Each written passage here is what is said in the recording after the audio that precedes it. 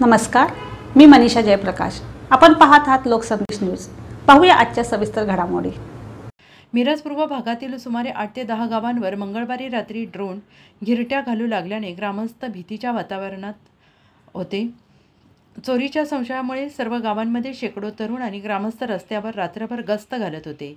मिरज पूर्व भागातील टाकळी बोलवाड बेडग आरग मल्लेवाडी एरंडोली लक्ष्मीवाडी शिंदेवाडी या भागात सुमारे ड्रोन रात्री नऊच्या सुमारास घिरट्या घालू लागल्याने ग्रामस्थांमध्ये घबराट निर्माण झाली.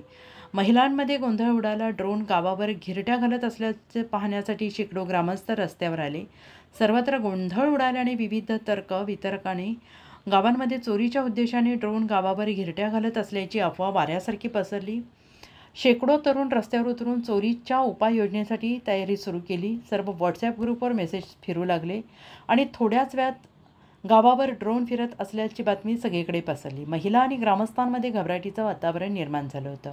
आणि याबाबत मिरज ग्रामीण पोलिसांना माहिती मिळाल्यानंतर मिरज ग्रामीण पोलीस ठाण्याचे पोलीस निरीक्षक भैरू तळेकर यांनी मिरज पूर्व भागातल्या ड्रोन घिरट्या घालत असलेल्या गावांना भेटी देऊन घाबरण्याचं कोणतंही कारण नसल्याचं ध्वनी क्षेपकावरून सांगितलं. काही ग्रामस्थांनी पोलिसांना फोन लावल्यानंतर पोलिसांनी महामार्गाचा ड्रोनद्वारे सर्वे सुरू असल्याचं सांगितलं.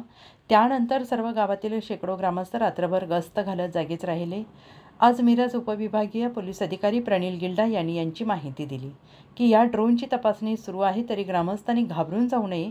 जर कोणाला ड्रोन आढ आढळला तर नागरिकांनी पोलिसांशी संपर्क साधावा असं आवाहन उपविभागीय अधिकारी प्रणील गिल्डा यांनी केला आहे. मिरज ग्रामीण पोलीस स्टेशनच्या हद्दीमध्ये काही गावामध्ये काल रात्री साधारण नऊ वाजेच्या नंतर काही ड्रोन सदृश्य जे अनआयडेंटिफाईड हे आहेत ऑब्जेक्ट्स फ्लाईंग ऑब्जेक्ट्स ते बघायला मिळाले अशी घटना घडलेली आहे.